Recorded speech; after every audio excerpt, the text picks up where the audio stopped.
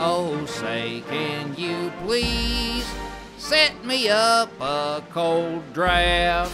Not the 10 ounce nor pint.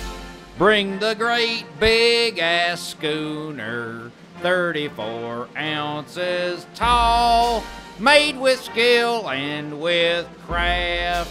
Pull the tab, bring it now, and if not now, then sooner. Fill her right to the top. Keep 'em coming, don't stop. If you ain't heard the news, I can handle my booze. Yes, the great big ass schooner I'll proudly consume. Just as long as I am and I'm near the restroom.